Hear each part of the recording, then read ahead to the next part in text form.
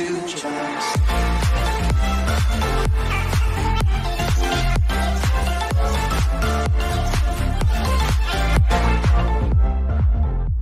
Ok, mình chào 200 em đã quay trở lại với kênh của Mạnh Hùng Barber Soaring Hôm nay Hùng sẽ hướng dẫn cho anh em cách kỳ lược thật nhanh. Đấy, kỳ lược thật là nhanh với lại cái quan tông dây cũng như là cái lược thần thánh này của Hùng nhé Thì um, uh, hôm nay Hùng sẽ hướng dẫn cho anh em cách làm quả đầu này là quả đầu spot. Quả đầu spot nhá Với lại kê lược Đối với những cái, cái uh, khi nào mà chúng ta áp dụng những cái, cái, cái, cách cái cách kê lược nhanh này của mình khi mà gặp những cái quả đầu mà thí dụ như là cái khuôn mặt của khách hàng ấy nó rất là to cộng với lại cái hai cái bên thái dương nó bị hóp ấy thì mình cần cái phần à, khung thành nó nó nó nó xanh xanh một chút đấy và và cái chân nó trắng trắng một chút thì mình nên kê được nhanh thì nó sẽ tạo ra hiệu quả cũng như là kinh tế cũng như là tiết kiệm thời gian tối ưu cho anh em nhé. Ở trong cái à, quả đầu này ở trong cái video này thì của mình ấy cái đầu mẫu của bạn này ấy, cái phần uh, cái xương uh, quai hàm của bạn ấy rất là to cũng như là cái gò má nó bị hóp lại. Ê, nó trái ngược với lại cái cái phần sọ đầu ở bên trên ấy là cái phần sọ đầu ấy nó rất là hóp. Đấy nó rất là hóp. Thế nên là nếu mà khi mà chúng ta cắt trắng ví dụ như mid face hoặc là drop face ấy thì nó sẽ rất là ảnh hưởng đến cái khung đầu đúng không ạ? Bởi vì cái khung sọ trên của người ta ấy, nó đã bị móp rồi mà bây giờ chúng ta à, phết trắng lên thì nó sẽ không cân xứng nhìn cái đầu nó rất là xấu. Đấy. Và theo như anh em có thể quan sát bằng mắt thường ấy thì nhìn cái quả đầu này thì chúng ta cũng biết được là cái cái đầu này nó rất là là là méo mó thì với lại rất là nói chung là nhiều hố ổ gà ổ trâu ổ voi. Thế nên là cái cách Ờ, xử lý tốt nhất mình khuyên anh em làm là mình nên uh, cắt lược cho nó nhanh anh em nhé. Thì để cắt lược thế nào cho nó hiệu quả cắt lược hiệu quả thì nó rất là đơn giản thôi. Mình chỉ cần sắm một cái chiếc lược như của hùng đây. Và mình đầu tư một con tông dây.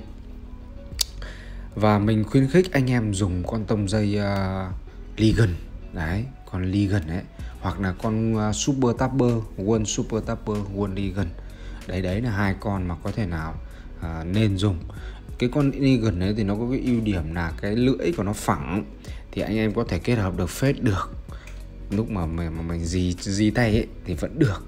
Còn cái con uh, super tapper nó có cái lưỡi hình rãnh ấy rãnh thì nó kê lược rất là tốt. Và cái lúc mà nó làm mờ cái phần chân ấy nó cũng rất là tốt bởi vì cái cái cái nó nó có cái rãnh ấy thì nó rất là thoáng nó thoáng nó rất là thoáng tóc và nó không bị rít Đấy, cái quan trọng là nó không bị lúc mà tì lên da đầu của khách ấy, nó không bị rít anh em nhé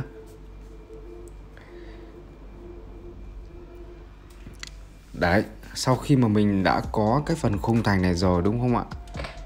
Mình có cái phần khung thành này rồi Thì làm sao ạ? Thì mình dùng cái cữ 1,5 này và mình uh, uh, di đi một chút xíu là nó sẽ hết cái phần chân. Ok anh em nhớ nhá. Khi mà chúng ta kê lược xong cái phần khung ấy thì bắt đầu chúng ta sẽ sử dụng cái cữ 1,5 để chúng ta đi lối tiếp với lại cái phần điểm trắng mà vừa nãy chúng ta mới tạo cái phần khung bằng cây lược ấy. Đấy, rất đơn giản thôi cực kỳ đơn giản và nhanh. Tiếp theo chúng ta sẽ cạo cái phần đường khuôn viền và tai và gáy làm sao cho nó tạo ra một cái đường khuôn uh, tai với cái này gáy cực kỳ là đẹp anh em nhé. Cố gắng ở cái bước này mình làm cho nó thật là tròn vào. Nó tròn đều thì nó sẽ làm sao ạ? Thì nó sẽ thể hiện được cái uh, trình độ cũng như là cái kỹ năng sử dụng dao cạo của người thợ nhiều khi khách hàng người ta không nhìn thấy những cái điểm nhỏ nhỏ như thế này đâu nhưng mà chúng nó nó lại là một cái phương tiện quảng cáo cho anh em rất là hiệu quả đấy. Bởi vì cái đường cạo nó có sắc nét ấy thì cái, những cái người mà người ta đi cạnh những cái vị khách hàng đấy người ta nhìn thấy nên người ta cũng sướng đúng không ạ? Người ta muốn hỏi luôn là cắt tóc ở đâu? Đấy ở cái phần cắt tốp này ở phần cắt tốp này thì nó cũng rất là đơn giản thôi, nó cũng không có gì là cầu kỳ phức tạp cả. Anh em cứ nhìn những cái thao tác của hùng đây, rồi làm theo. Đấy. Cứ nhìn những cái thao tác của hùng rồi làm theo anh em nhé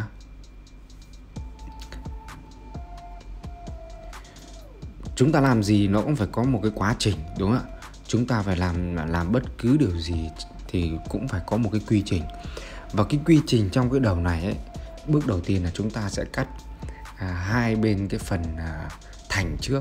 Hai bên phần thành để cắt làm sao loại bỏ cái góc tù cũng như là cái góc nhọn ở cái hai bên à, phần sai chúng ta vừa kê lược đúng không ạ?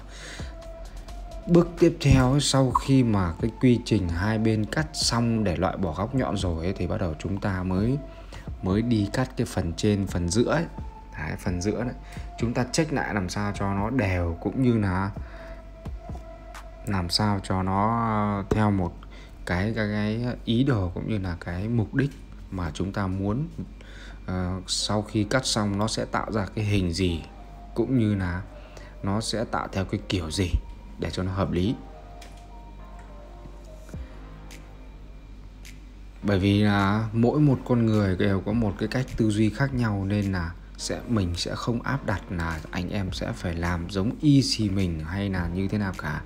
Nhưng mà mình chủ yếu là mình mong muốn làm sao để cho anh em hình dung được cũng như là tư duy được làm sao là mình biết được mình đang cắt cái gì. Bởi vì rất nhiều bạn trẻ ấy, cầm cái kéo lên cắt thậm chí còn không biết là mình đang cắt cái gì. Nên là anh em cố gắng làm sao uh, xem cái video và À, cố gắng làm sao xem được những cái kỹ năng cũng như là cái kỹ cái cái cái cái, cái thủ thuật cầm kéo cầm lược làm sao cho nó hợp lý anh em nhé mỗi người thợ đều có một cái hay và một cái nét riêng của mình. Nên là hùng sẽ khuyến khích anh em là xem à, thật là nhiều video cũng như là những uh, cái kênh lớn của những cái anh người người anh lớn đi trước. Bởi vì mỗi người có một cái trường phái cũng như là có một cái sở trường sở đoản và có một cái kỹ năng khác nhau. Thế nên là chúng ta cứ mỗi người học được một tí thì nó sẽ rất là ok, thì nó sẽ thành một cái bản hoàn thiện của bản thân mình. Bởi vì trước đây mình hùng hùng ấy ờ, cũng đi à, học từ rất nhiều kênh lớn. Hàn Quốc có, châu Âu có, rồi thì về Việt Nam có, nói chung là học đủ thứ. Thời đấy thì chỉ học ở trên YouTube là thôi, chứ chả học ở đâu cả nên là cái kênh YouTube nó giúp mình rất là nhiều thứ. Anh em hãy tận dụng những cái thời gian rảnh này để mà à, mình có thể mình học được thêm cái gì đó ở trên YouTube. Cực kỳ quý quý giá anh em nhé. Sấy thì nó cũng rất là đơn giản thôi. Anh em cố gắng làm sao mà à, xem cái cách à, sấy của mình ấy cái quan trọng nhất mình không mình không cần phải quá là là phải xem nó phải sấy theo hướng nào hướng nào đâu. Mà đôi khi ấy, chúng ta để ý từ những cái nhỏ nhất đó chính là cái mũi của cái máy sấy ấy, với lại cái lược ấy. Cái người thợ người ta quay cái video ấy thì người ta kê để cái mũi máy sấy ở đâu. Đấy hoặc là cái nửa, cái lược người ta lúc lúc người ta đưa vào cái sợi tóc, người ta móc cái lược như thế nào. Đấy, mình phải để ý được những cái nhỏ nhỉ, nhỏ nhặt như thế. Khi mà chúng ta để ý những cái nhỏ nhặt như thế, để ý được những cái tiểu tiết bé bé như thế, thì chúng ta là một cái con người rất là tinh tế. Thì khi mà tinh tế thế thì chúng ta học được rất nhiều điều hay ho. Anh em nhé nhiều khi chúng ta phải để ý có những trường hợp chúng ta để ý những cái uh, nó nó nó to lớn nhưng mà chúng ta uh, cũng phải để ý những cái bé bé. Nếu như mà mỗi con người chúng ta muốn nó tinh tế hơn một chút thì mình nên chỉn chu cũng như là mình uh, để ý đến những cái tiểu tiết bé nhất. Cái đấy cực kỳ quan trọng. Vuốt sát thì ở đây uh, đối với những cái, cái quan tóc kiểu này thì mình sẽ dùng Aure hoặc là Clay Watt hoặc là Vulcanic em nhé. Miễn là làm sao mà vuốt cái dòng nào mà nó nói chung là độ mềm nó thấp ấy, và cái độ cứng nó cao giữ nếp tốt thì càng tốt. Nếu có thành phần dưỡng thì càng tốt. Nói chung là mình ờ, đối với những kiểu đầu này thì mình uh, hay dùng clay watt với lại volcanic aure và sáp chủ đạo ở cửa hàng mình bán cũng chỉ bán mấy con đấy thôi. Nó vừa tiền cũng như là nó nó nó rất là ok cho anh em. Nếu anh em nào mà ở xa xôi cần các thứ mà nếu mà muốn nhập sáp nhập gôm hoặc là tông được kéo lược thì cứ inbox cho mình nhé. Mình phân phối bán hết.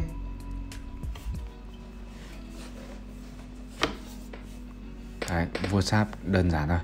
Đấy, đây là Tuấn Sành Điệu vua sáp nhé Tuấn Sành Điệu à, trong cái video này Tuấn Sành Điệu sẽ hướng dẫn cho anh em à, à, cách vua sáp cũng như là cách sấy này. Đấy, anh em thấy thế nào ạ? Đấy. trong cái lúc mà mình à, à làm ấy thì à, à, nó bận một chút thế nên là Tuấn Sành Điệu đã thay mình à, quay cái đoạn mà sấy với vua sáp nếu như anh em thấy Tuấn Sành Điệu vua sáp đẹp cũng như là à, quay cái đoạn cuối này rất là ok thì hãy gửi lời cảm ơn đến Tuấn Sành Điệu nhá.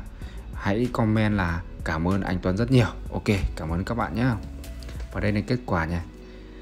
Đấy cái đầu này thì mình cắt chỉ tầm 15 phút rồi 15 phút 20 phút là xong rồi quả đầu này cắt cực cực kỳ nhanh luôn nếu mà chuẩn cả sấy gội tạo kiểu các thứ thì nó rơi vào tầm 40 phút 40 45 phút nhá Hãy sấy gội tạo kiểu còn nếu mà độc cắt không mà để cho khách đi về thì chỉ tầm 15 20 phút thôi Ok, cảm ơn anh em đã quan tâm theo dõi kênh của Mạnh Hùng Barber Sharing. Cảm ơn tất cả mọi người nhé. Cảm ơn, ok.